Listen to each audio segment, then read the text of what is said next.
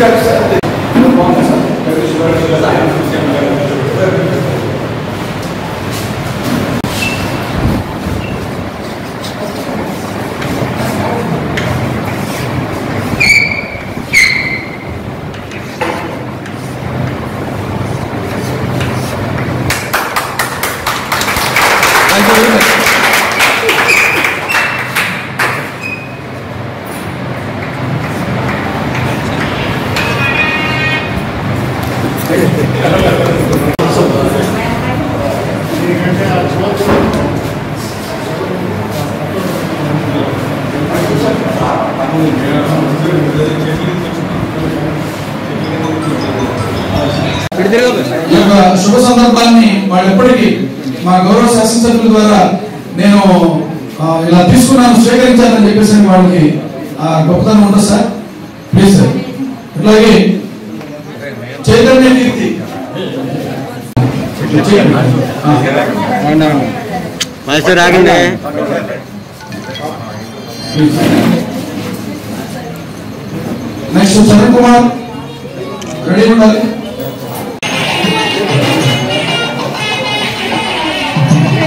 గౌరవ ముఖ్యమంత్రి వర్యులు కొనలేనోళ్ళ పడుగు బాధలు చూచి అమ్మఒడి పథకముతో ఆశ స్టడీ పిల్లలు అందరూ వస్తారు చూడమ్మా.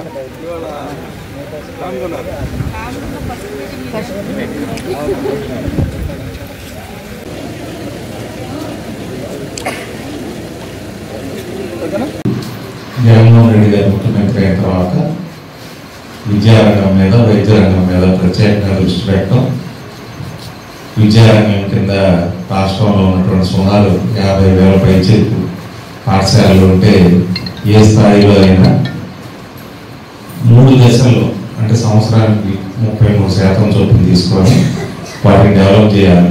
అక్కడ ఏమైనా వస్తువులు లేకపోతే మెరుగైన వస్తువులు ఇవ్వడం క్లాస్ రూమ్స్ లేకపోతే క్లాస్ రూమ్స్ కట్టడం ఎడిషనల్ ఫెసిలిటీస్ ఇవ్వడం కంప్లీట్గా ప్రైవేట్ విద్యాలయాలకి కార్పొరేట్ స్కూల్స్కి ఏమాత్రం తగ్గని విధంగా ఫెసిలిటీ క్రియేట్ చేయడానికి నిర్ణయించుకోవడం జరిగింది.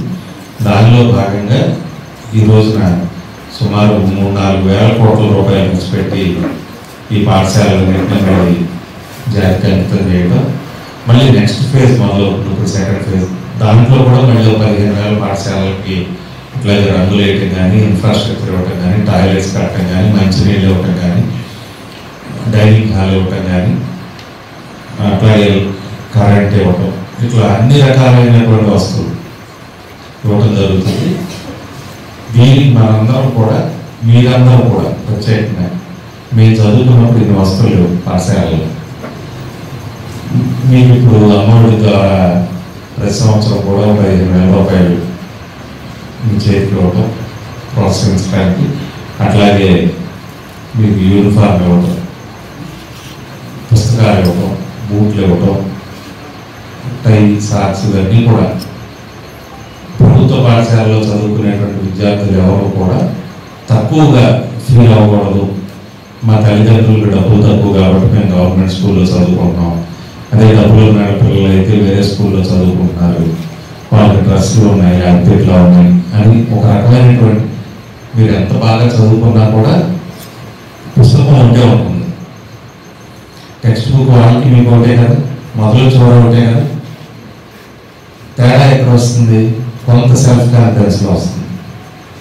దాన్ని మీ టోటల్ కోసం ముఖ్యమంత్రి గారు ఈ రోజు కొన్ని వందల కోట్ల రూపాయలు ఖర్చు పెట్టి ఈ బూట్లు కానీ టై కానీ సాక్స్ కానీ పుస్తకాలు కానీ ఈ పుస్తకాల్లో కూడా ఒక పక్కన తెలుగు ఒక పక్కన ఇంగ్లీష్ ఇచ్చి మీకు అర్థమయ్యేది చేయడం. దీనికి మనందరం కూడా ముఖ్యమంత్రి గారిని అభినందించాలి. అదేవిధంగా ఇంగ్లీష్ మీడియం.